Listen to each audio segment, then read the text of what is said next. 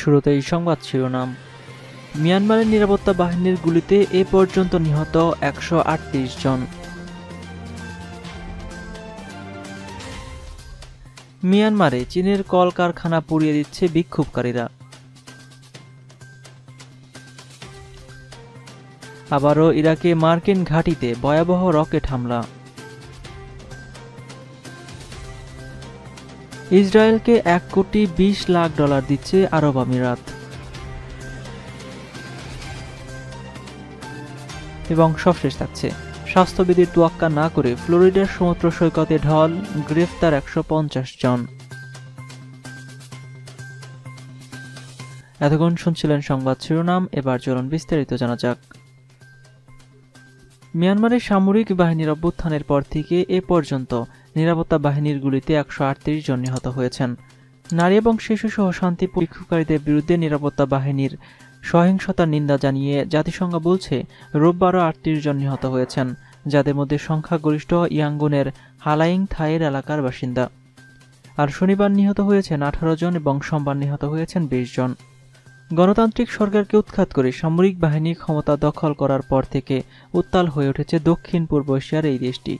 রাজনৈতিক নেতৃবৃন্দ সহ আটক বিক্ষোভকারীদের মুক্তি এবং গণতন্ত্র ফিরিয়ে দেওয়ার দাবিতে এই বিক্ষোভ চলছে।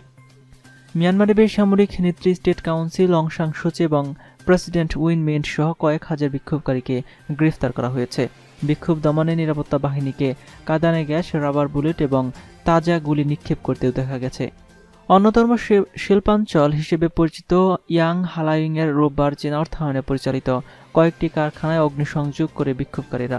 একই এলাকায় সোমবার সকালেও আগুন দেওয়া হয় বলে জানায় কারখানা কর্তৃপক্ষ।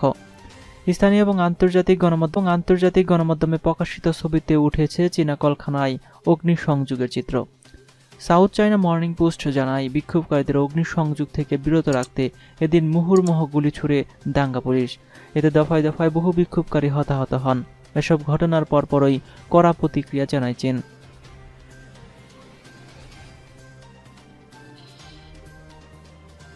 মিয়ানমারে চীন বিরোধী ঘৃণা বিদ্বেষ বেড়ে চলেছে।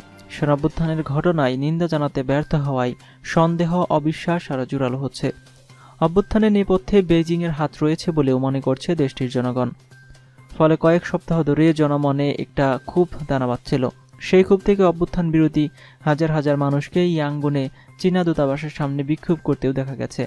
তবে এবার বিক্ষোভের সঙ্গে সঙ্গে সরাসরি অ্যাকশন নিচ্ছে জনতা। মিয়ানমারের শহরে শহরে চীনা ব্যবসা, প্রতিষ্ঠান এবং কলকারখানা পুড়িয়ে দিচ্ছে। ইতিমধ্যে কয়েক ডজন কারখানায় আগুন দেওয়া হয়েছে। তবে কর্মকাণ্ডে নড়ে চড়ে বসেছে চীনা কর্তৃপক্ষ। ব্যবসা প্রতিষ্ঠান এবং কারখানায় সুরক্ষা নিশ্চিতের পাশাপাশি নিজের দেশের নাগরিকদের নিরাপত্তা দেওয়ার আহ্বান জানিয়েছে। অগ্নিসংযোগকারীদের চিহ্নিত করে শাস্তি দেওয়ার আহ্বান জানানো হয়েছে। চীনের বিদেশ নীতিতে মিয়ানমারের সামরিক অভ্যুত্থানকে অভ্যন্তরীণ সংকট আকারে বিবেচনা করা হচ্ছে।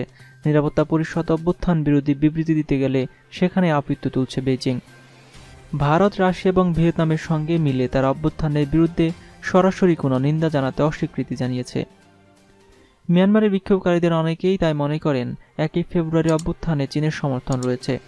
দ্য ইরাবতী জানায়, বাণিজ্যিক রাজনীতি এবং ইয়াঙ্গুনে চীনা অর্থায়নে পরিচালিত বেশ কয়েকটি কারখানায় সামরিক অভ্যুত্থান বিরোধী আন্দোলনকারীদের লক্ষ্যবস্তুতে পরিণত হয়েছে। অভ্যুত্থানের শুরু থেকে চীন একে মিয়ানমারের অভ্যন্তরীণ ইস্যু বলে পাশ কাটিয়ে আসছে। জাতিসংঘের নিরাপত্তা পরিষদে মিয়ানমার বিরোধী একটি নিন্দা প্রস্তাব আটকে দিয়েছে দেশটি। তাদের দাবি নিষেধাজ্ঞা কিংবা আন্তর্জাতিক চাপ পুরো পরিস্থিতিকে আরও খারাপ করে তুলবে।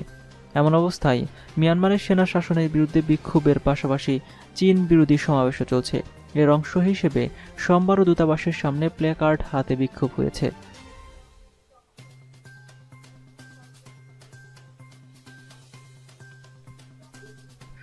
আবারও ইরাকে দখল করা একটি মার্কিন ঘাঁটিতে রকেট হামলা হয়েছে।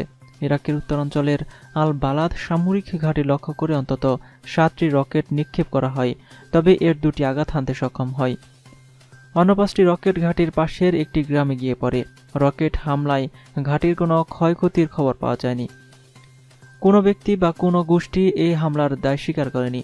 সাম্প্রতিক মাসগুলিতে ইরাকে মার্কিন বাহিনীর অবস্থান লক্ষ্য করে দফায় দফায় হামলা হয়ে আসছে। গত তিনে মার্চ ইরাকের আইন আল আসাদের ঘাঁটিতে এ ধরনের রকেট হামলায় আমেরিকার একজন ঠিকাদার নিহত হন।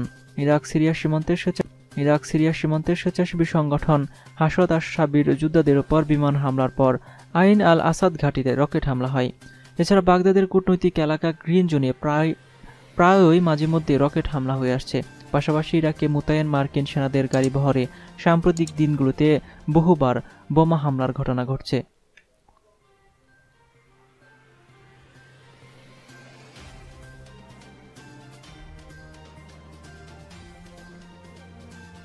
ইসরায়েলকে সংযুক্ত আরব আমিরাত এক কোটি বিশ লাখ ডলার দিচ্ছে বলে জানিয়েছেন দেশটির প্রধানমন্ত্রী বেনিয়ামিন নাতানিয়াহু।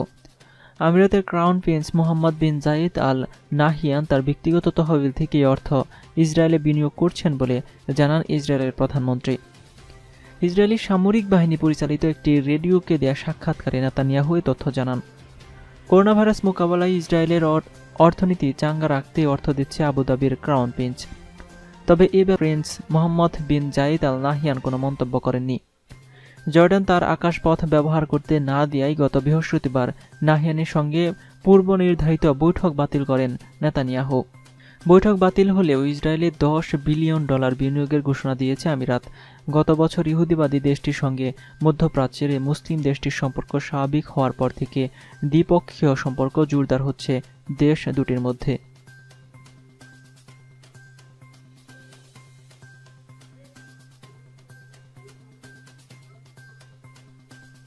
বসন্তের হাতছানির উচ্ছ্বাসে মেতে উঠেছেন আমেরিকানরা।